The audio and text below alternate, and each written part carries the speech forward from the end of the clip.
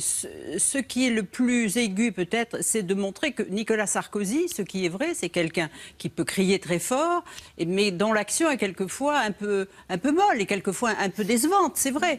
Donc, et là, il le souligne d'un trait, d'ailleurs, c'est un grand polémiste et il a beaucoup de talent. Donc, si vous voulez, le, caractère, les, les, défauts sont mis un petit peu, un peu trop en de manière. Euh, voilà, c'est aigu et c'est juste, hmm. malheureusement. Ça fait mal. Ça fait que ça tape juste. Bruno, je dis